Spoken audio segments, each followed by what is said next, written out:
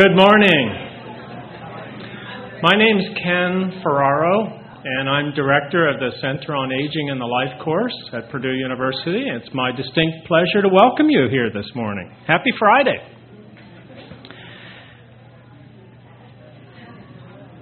Our purpose today is to focus on avenues to optimal longevity. And we're delighted to see that you have come to participate in this endeavor. I see familiar faces from across campus, across the state, and in the region. So, welcome. We're so delighted that you joined us. I believe many of you have had a chance to peruse the posters and to learn about some of the research projects that are going on here at Purdue. And those posters will be available at the break. There'll be a coffee refresh at about 10 o'clock and there'll be more opportunity for follow up questions with our presenters. I want to thank the presenters for being here early this morning and helping us to get going. Very stimulating. Thank you very much. When I hear of people talking about the aging of our population as a problem, I wince. I have a hard time being quiet. Although the aging of our society presents some challenges, to me, population aging is a phenomenal success. It's one of the great public health achievements of our era. It's good news, and it's a startling public health success. We need to feel good about that. Once we have that vantage point, then I think it's time to think about the challenges that are faced by the aging of the population. But we have to begin with the axiom that this is really good news. And then how are we going to optimize the aging of our population? Those are important questions. Is there a compression of morbidity? What will adding years to life mean to individuals? Or do we want to also focus on adding years to life? What do we want to add? More years or more quality of life? What are the avenues to optimal longevity? That's what we want to focus on today. And our aim is evidence based, not just Ken speculation or someone else's speculation, but what does the research show us in terms of ways that we can optimize the aging experience? Our speakers are exceptionally well known and acclaimed nationally and internationally to help us think through those questions. For those of you who have pre-registered, you've got you should have a booklet in front of you that I think will help you navigate the morning. Our speakers have provided some references, so if you'd like to read further on the topic, that uh, gives you some information. And at the conclusion of the morning, we will present our Outstanding Professor Awards. I hope you'll stay with us to the end. We have some copies of the Aging Exchange, our uh, Center on the Aging and Life course newsletter. And if you haven't received that, uh, we have some of those in the hall. And if you'd like to be on the mailing list, just uh, drop your, maybe put your uh, name card in the recycle bin at the end of the day and just say mailing list, and we'll, we'll take care of that. There were three organizations that worked together to bring this uh, day to fruition. Obviously, the center played a, an integral role. Uh, secondly, the Department of Nutrition Science, which uh, I'm very pleased to say we have a good representation both in the poster presentations and uh, we, we were conscious, we were deliberate about the breakfast that we served you this morning. You didn't see any Krispy Kreme donuts. We really wanted to make sure that we got off to a healthy start. I express my thanks to the Department of Nutrition Science. And I also think about uh, the Purdue University Retirees Association that joined us as a co sponsor. Uh, they have been um, loosely affiliated and been participating in our symposia for a number of years, but the last two years they decided to step up and provide support for the symposium. So the lectures today are being video recorded and in a few weeks they will be available on our website. And we, we know that professors are using those for instructional purposes, and we really thank PURA for making that possible. I'd like to ask Dan Collins if he'd come. He's the president of PURA this year, if he'd just come and give us a greeting. Dan? Th- Thanks, Ken, and certainly want to welcome all of you this morning. And what really is exciting for me, a number of things, but as I look around the room, and, and of course, the, the the posters are excellent, but I'm thinking, and, and this may be somewhat a function of my age too, but I'm seeing some people in here that might be like 19, 20, and a few that are 90. So this appeals to those from the 19 to 90 range, at least. Uh, so on behalf of about 5,000 Purdue retirees, uh, and especially Sue Heiser, who's the chair of our endowment committee, the Retiree Association has an activity and opportunity endowment that that is um, allows us to to help fund these types of programs, and and that too is pretty exciting that that we're able to do this. We're we're kind of unique among uh, our peer institutions in the relationship that our retiree association has with the with the university and and with with some of the funding we've been able to to accumulate over the years. PURA's mission uh, includes promoting retiring with a purpose and lifelong learning. So you kind of put those together, and as I tell people, I'm not really retired. I just don't get paid anymore. and and that's that's pretty true. We, we try to stay active. We try to we we try to keep doing things. And w- again, one of the ways we can do this is helping to sponsor these kind of programs. Uh, we do have, I won't ask you to raise your hand, but if you look around, you might be able to guess who our retirees in the audience might be. We do have a number of Purdue retirees here, um, which, which is great. So we also benefit because part of our mission is, is again, supporting these, these programs because we think we can help enrich the lives of not only our retiree members, but senior citizens generally and their families. Retirement's a partnership between the individual and the families that have to put up with us. So it's it's a great opportunity and and enjoy your morning. Yes, thank you, PURA. Are you ready? I'm going to ask Dr. Patty Thomas to introduce our first speaker, get us uh, started this morning. Patty?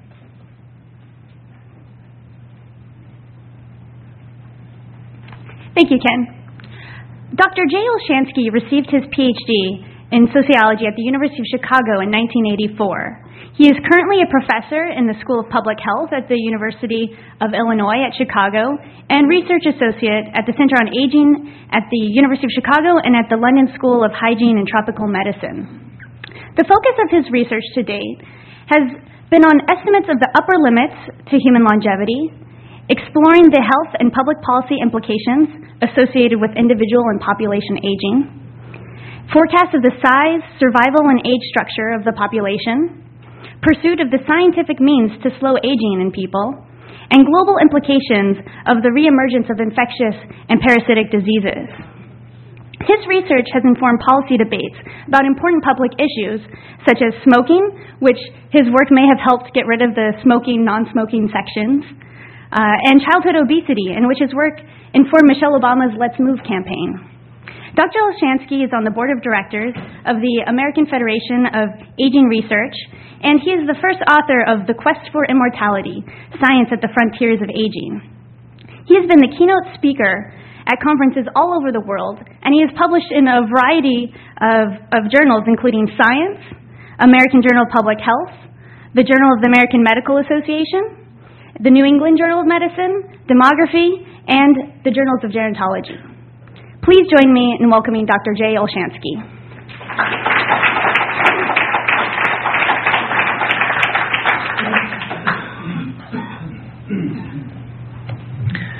All right. Um, I'm gonna, I'll break away from this uh, in a minute, but I want to thank Ken for uh, for inviting me here. It's an absolute uh, delight to be here, and uh, and everyone should be supporting these aging programs uh, that exist, uh, you know, across uh, the United States and elsewhere. There's really good work, really good research going on in these in these aging centers.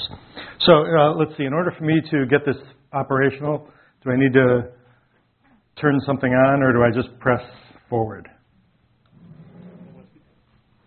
I wasn't sure how this is set up. So it looks blank to me. There we go. All right. Um, first of all, um, since we're at a university, uh, and I, I, realize that we have a limited amount of time, uh, I actually really like questions. I love questions. So if anything strikes you while I'm giving the talk, please don't hesitate to raise your hand and let's try and address something as it comes up because I'm going to set forth some challenging ideas uh, over the next uh, 40 minutes or so. So feel free to challenge back. That's half the fun. Uh, now, I've got a great story to tell you. Uh, and part of the story has to do with sort of the first comments uh, that, that, you had made that, you know, between 19 and 90. Well, guess what? We're all aging. And when we talk about aging, we're not just talking about, you know, people over the age of 60 or 70 or 80. We're talking about infants and children and, and newborns, and everyone is going through this uh, process. The story I'm going to be telling you today is about some advances that I believe are forthcoming in the field of aging aging science that are going to transform our concept, our concepts of aging, health, and longevity going forward in this century. But in order to understand why it is that my colleagues and I are making this argument and why others have made this, it's important to step back and look back at history to give, a sense of, uh, give us a sense of how we got here. And so that's where I'm going to start out, and that's where I'm going to start the story. So, uh, for those of us who study aging, who study longevity, who study mortality, uh, and particularly in my area, uh, for those of us who study demography, we look at the timing with which death occurs in a population. So this actually, it looks like a, you know, an average line drawn on a graph. This actually is one of the most famous lines that exists in the field of aging today. It actually tells an incredibly powerful story. It doesn't look like it, but, but it is. On the x axis is age, and on the vertical axis is uh, death.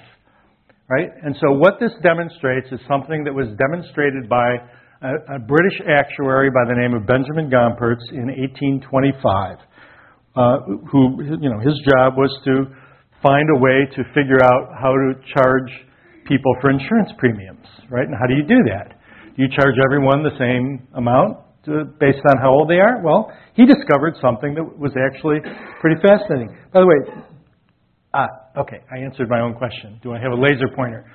All right. Um, so what he discovered is is that as we get older, the risk of death rises. This is on a semi-log scale, which means uh, this straight line represents an exponential increase in the risk of death with the passage of time. So, roughly every eight years, the risk of death doubles. So, this was a profound observation. Benjamin Gompertz saw this in 1825. This served as the basis for, uh, for genera- generating uh, estimates for insurance premiums. And he basically demonstrated that the older we get, the higher the risk of death. I mean, you and I, we all know this intuitively now, but in 1825 it wasn't obvious. Now, when Gompertz looked at this, he, he saw this same curve no matter where he looked, no matter what population he looked at, no matter what time period he looked at, it always looked exactly the same. Now, uh, for those of you in the back of the room, you're not going to be able to read this, and for those of you in the front of the room, I don't want you to read it. Um, but I put this up here for a reason. He used a phrase that I, I, want, I want to tell you about. When he saw that line, and he saw the consistency with which it occurred, he said, I think I'm seeing a law, some sort of biological law that regulates how long we live and the timing with which death occurs. He referred to it as the law of mortality. And when he thought of a law, he was thinking very much like Newton's law, that this was some sort of fundamental attribute of living things, that the longer they live, the higher the probability uh, that uh, the death occurs. As it turns out, Gompertz was not, not the only one There were a large number of researchers since Gompertz, ever since Gompertz, which, by the way, was the title of a paper that I wrote, ever since Gompertz, who basically developed the same line of reasoning. So here is the same figure. There's Gompertz's line, by the way. You can see it right here. But what I did was I showed you, um, showing you the timing with which death occurs. You know, it doesn't matter what time period you look at. You can go back, uh, uh, you know, 100 years, 500 years, and and the, the the death rates look exactly the same no matter when you look, no matter where you look. High infant mortality, the risk of death declines to its lowest point at puberty, always. And then the risk of death rises exponentially thereafter. We call it the J, J curve, the J shaped curve. It looks the same everywhere you go. And actually, as it turns out, it looks the same for dogs, for mice, for elephants, uh, for a wide variety of sexually reproducing species. The J curve is famous for those of us who study uh, aging and mortality. This tells you that there's a constant, that something is happening to us in the same way that it's happening to your pets and to zoo animals and to almost all living things. Gompertz was right. There is the equivalent of a law of mortality. Understanding this, by the way, once you understand Gompertz's law and you understanding the timing with which death occurs, you then realize that we've placed ourselves in a very unusual scenario in this modern era, the one that the two of you were referring to earlier about you know the privilege of living this uh, long life. It is a privilege indeed, but there's a price we've had to pay for this, and I'll, and I'll get to that um, in a moment. So I'm not going to go into detail on any of the other figures involved except Raymond Pearl. Raymond Pearl uh, was a well known researcher from Johns Hopkins in the early part of the 20th century. And Raymond Pearl said, and I'm using his language, we are dealing here with qualitatively identical expressions of an obviously fundamental biological law. So Raymond Pearl said, look, if the timing of death occurs in a consistent way for humans, it should occur in a consistent way for, for fruit flies and for dogs and for mice. And if you can actually compare them on the same time scale, all of the death rates for all of these species should overlap perfectly, if, if it's a law. Okay?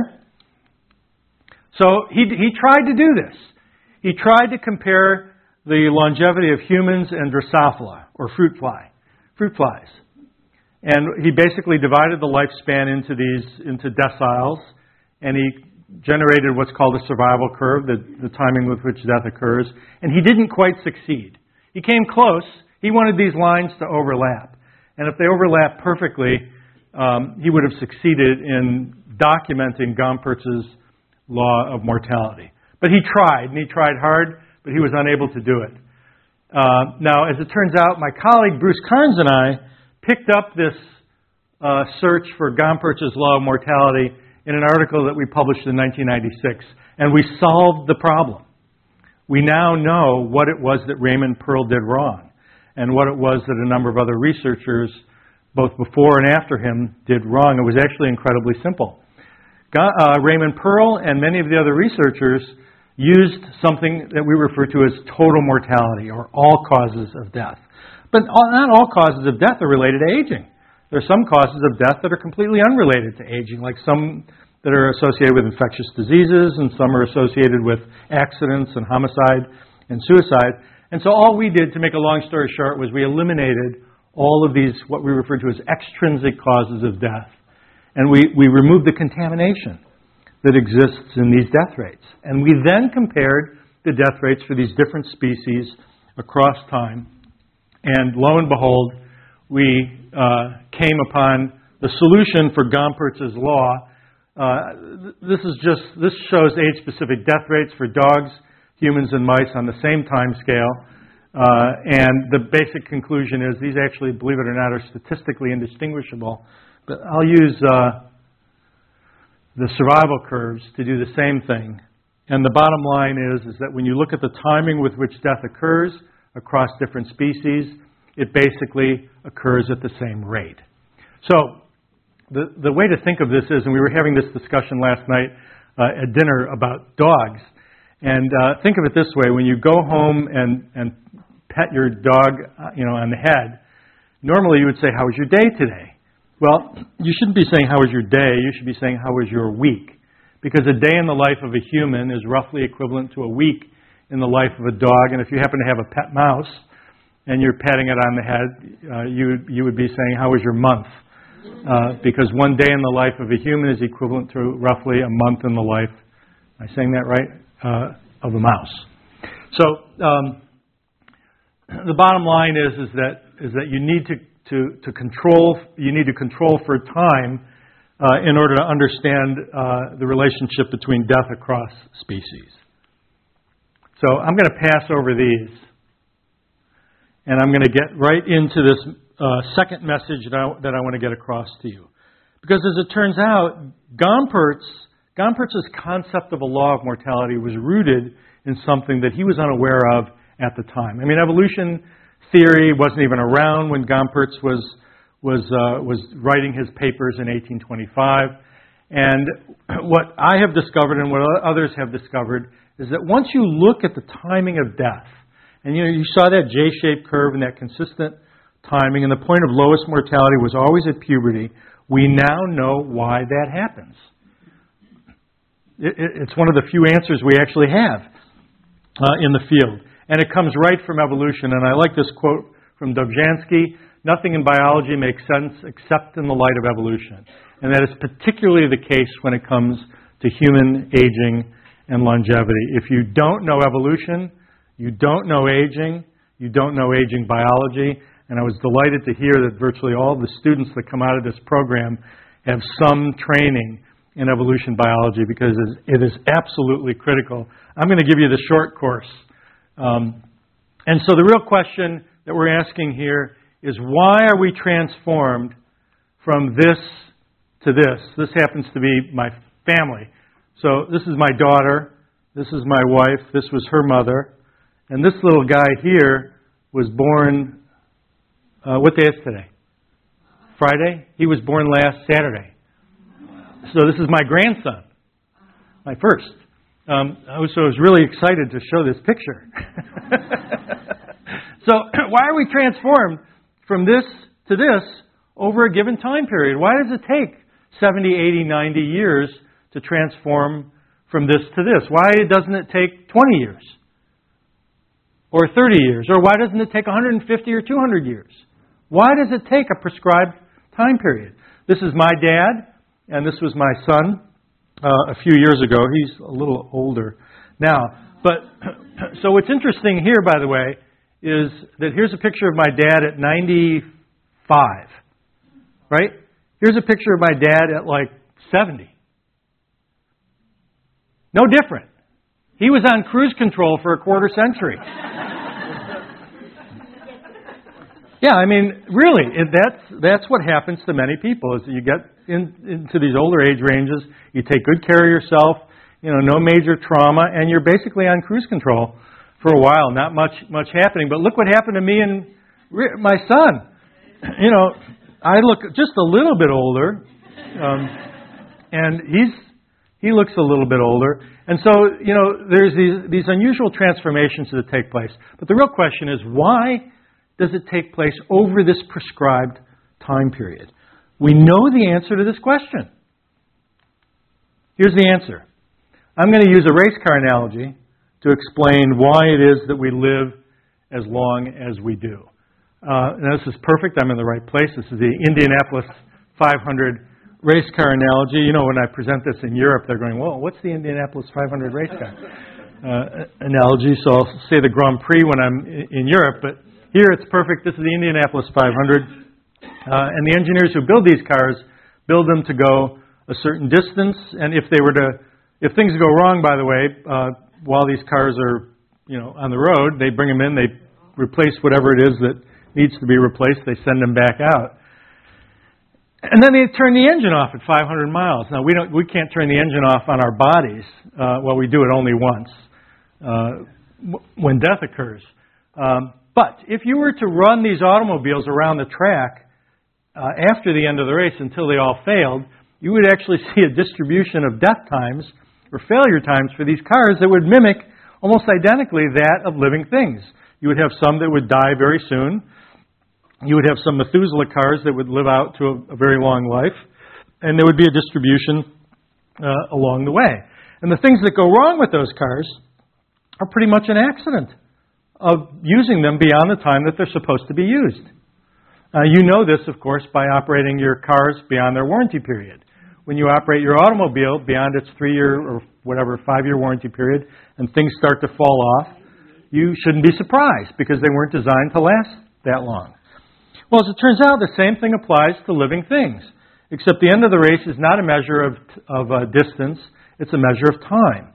So here we need to, to, uh, to make it to our reproductive ages, produce offspring, ensure the reproductive success of our offspring, which, by the way, I just accomplished six days ago. Um, this is important from an evolution, evolutionary perspective, ensuring the reproductive success of your offspring. And what have we done? During the course of the 20th century, we pushed out survival very successfully into the post reproductive region of the lifespan, where we get the privilege of not only living a long life, but we got the privilege of trading off uh, the infectious diseases that killed most people early for heart disease, cancer, stroke, Alzheimer's, osteoporosis, and osteoarthritis, among other things that we don't like that are associated with growing older. There was a fundamental trade off for longer life. I mean, you're right. It was a good thing. We, we wanted it. We got exactly what we want an additional 30 years of life during the 20th century, but we had to pay a price for it. And the question is, where are we going now?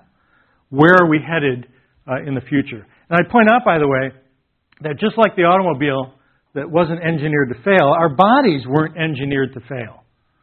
Our bodies were engineered to produce offspring, to ensure the reproductive success of our offspring, and to make sure we live long enough that our genes are passed on to the next generation. The diseases and disorders that we see at older regions of the lifespan are not our fault. I don't, I don't know if your doctor's telling you this, um, it's not true. It is not our fault. Most of the things that go wrong with us as we, we grow older are a product of using our bodies beyond their warranty period, their biological warranty period. Now, that doesn't mean we can't accelerate the uh, timing with which these events occur. And we, we, we do a lot of things to accelerate the timing with which bad events occur. So we eat poorly, we don't exercise, we smoke cigarettes, we become obese, we do things that shorten our lives. I have argued for quite some time in public health that the only control we have over our duration of life is to shorten it. and we exercise that control all the time. We do things that are harmful. But if you do everything right, if you eat right, you exercise, you, do everything according to what your physician is telling you or your public health expert is telling you, I'm sorry to tell you this, but we will still grow old, we will still die, and there's a 75% chance it will be from heart disease, cancer, stroke. That's the way our body is designed. We are not going to be eliminating these diseases anytime soon, but we can reduce them and have succeeded in reducing them. All right, so this looks complicated. It's not. It actually relates to the timing with which death occurs. Uh, so, what I've done is I've taken the human lifespan and I've divided it into these three regions the pre reproductive region, between conception and puberty, the reproductive window between puberty and menopause in women, and the post reproductive region of the lifespan past the, roughly the age of 50. And this is just another way of saying that as soon as we begin reproducing, the ability of natural selection to influence gene frequencies in subsequent generations declines. So forget about the details here. Here's the message. The message is, and this is the research that my colleague and I have been working on for years is that we now know that duration of life of humans and other sexually reproducing species is calibrated to reproduction. It's calibrated to the onset and length of the reproductive window. So species that go through puberty early and have short reproductive windows live short lives. Species that go through puberty uh, late and menopause late and have long reproductive windows live longer lives. So let me be clear. Duration of life is calibrated to reproduction, the timing with which reproduction occurs. This is a genetically fixed attribute of the species. Okay?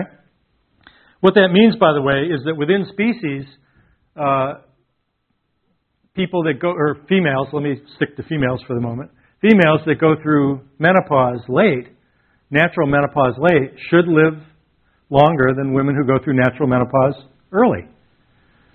And we've seen this among uh, the study of, uh, of centenarians. So let me show you some examples. A mouse goes through puberty at about 30 days, and it lives about 1,000 days.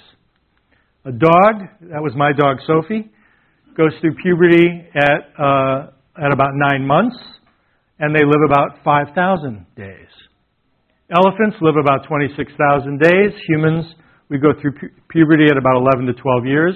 We live about 29,000 days on average. Sea turtles go through puberty at 50 years of age. Puberty at 50 years of age. They live, can live for 150. And a bowhead whale, a mammal just like us, can live for 210 years, 77,000 days. So keep in mind, duration of life is calibrated to reproduction. All right, let me pass by this. So, um, how much time do I have left? are at 21 minutes, we have about 24. Okay, yes. So do females who don't reproduce die earlier? All right, good question. The question was do females that don't reproduce die earlier? So, as you might imagine, this has been studied by a number of researchers who looked at, at nuns. Um, and actually, uh, no, it's got nothing to do with whether you are producing offspring. It has nothing to do with whether you're having sex. That's irrelevant. It's the uh, genetically fixed program for the timing of puberty and menopause, regardless of what you do with what you, what you have. And what what is it in men, the timing of what? All right, so I knew this this question would come up, but I'm I'm going to hold off. I'm going to hold off on that until we until we get to the question and answer. Yes. And puberty has moved earlier in age for uh, humans. Has menopausal age changed? No, no evidence that menopause has changed at all. Puberty, uh, as you know, declined from about 18 in the early part of the 20th century. I'm sure you've got nutrition experts in the room here to about 11 to 12 today. It's likely to be associated with body fat and the hormones associated with body fat. The genetic potential for early puberty, for puberty at 11 to 12 was always there. Yes? What can you do to change things? Uh, um, all right. So, so, uh, so that's the right question to be asking. What can you do to change things? Let me let me save that for the end, because that's the absolute right question to be asking. So, I wanted to. My colleagues and I have been trying to find a way to communicate some of these concepts in a very straightforward way, and we published this article. You know, you know how, you know, for those of us that write in the field of aging, you have like your favorite paper that you wrote. This was mine. We published this in Scientific American. Originally in 2001, it was republished in 2003 in the special issue on human evolution, and the title was If Our Bodies Were Built to Last. My co-authors were Bruce Carnes, a good colleague, friend and colleague, and Bob Butler, who was the founding director of the National Institute on Aging, who uh, passed away just a, a few years ago. Uh, so I'm proud to mention his name uh, in, in his honor. So this, in this article, we asked the question, what if our bodies were designed better than they are now? What if they were designed for longer term use? Because they're, they're not really designed for long term use. They're designed for relatively short term use. And like I said earlier, we use them beyond their warranty period. So we took a look at many of the problems that occur with us with the passage of time. Uh, these hinges down here, you know, this hinge and this hinge in the hip, you know, these hinges really were not meant to be used for a long, long time. We do use them much longer than, than intended. We lose muscle mass, sarcopenia. We lose bone uh, uh, mass with the passage of time. There's a whole suite of problems that occur in these bodies with the passage of time. And so we went through one at a time uh, and essentially re engineered them to, to make them operate better. Um, and now, I'll be honest with you, when we were working on this paper, uh, we were working with an artist. And so we said, the artist said, What do you want this animal to look like? And we said, We don't really know. We're just going to give you one body part at a time that we want to change, and then you create what this thing is going to